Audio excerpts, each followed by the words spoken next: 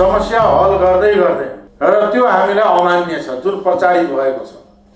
यद्यपि फर्मल रूपमा हामी अहिले चाहिँ त्यो प्रस्तुत प्रधानमन्त्रीले गर्नु भएको छैन। पहिला यो तरिकैमा गलत हो।